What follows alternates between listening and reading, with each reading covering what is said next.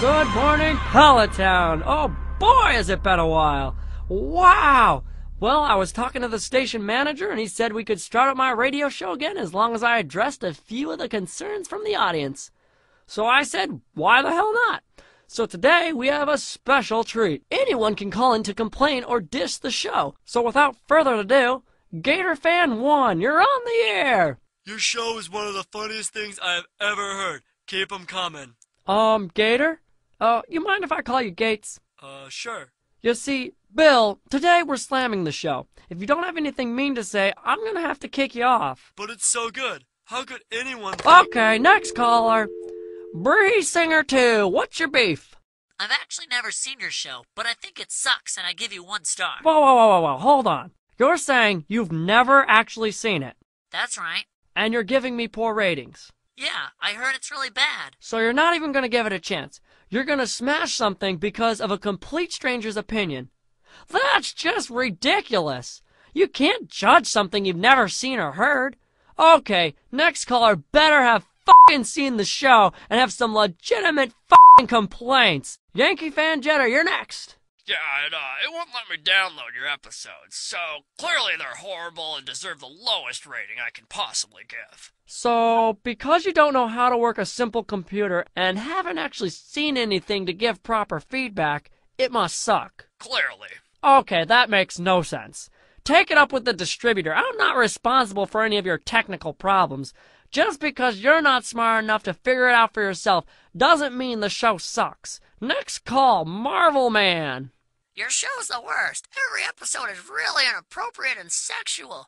Well, no one's forcing you to watch them. If you can't handle it, leave.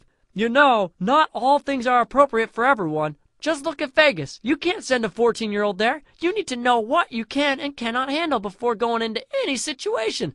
That way, you're not foolishly holding the artist responsible for your personal weaknesses. You don't even care that people aren't. Goodbye. Okay, next we have self appointed podcast critic. Okay, there is one thing. Well, who would want to listen to a self-appointed anything? You know why they're self-appointed? Because no one in the world in their right mind would ever appoint them for anything. Therefore, they have to claim the titles themselves. Ridiculous. Our next caller, vague critic. Who wants a critic who's vague? Well, it looks like my manager is giving me the eye, so I'm gonna have to let this one slide. Vague critic, what's your beef? Oh, yeah, your humor isn't quite there. Uh, can you, uh, can you be more specific? Oh, sure, it's. It's just. It's just not there. And your voice acting isn't so good either.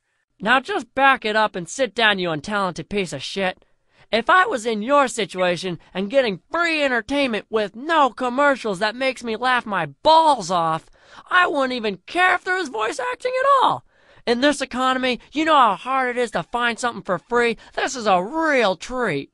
Well, there aren't enough movie references or exploitations to plot holes. Uh, yeah, that's on purpose. My show isn't called Yu-Gi-Oh! The Pokemon Abridged Series. Well, we want dated pop culture references. If you want lots of pop culture references, watch the other abridged series. They are basically the same rip-offs of LittleKuriboh. My show isn't meant to seem that way. It's a completely different style of abridged.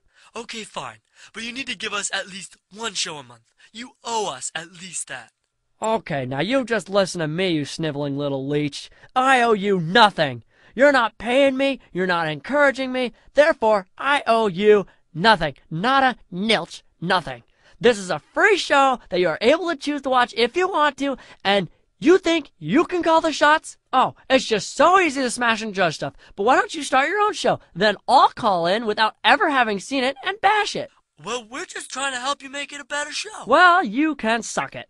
Okay, I just got the nod from my manager saying that we got the go ahead to continue the show. Booyah, baby! And if I don't see you later, good afternoon, good evening, and good night. Oh, How's that for some movie references? Yeah. Get my cigarettes?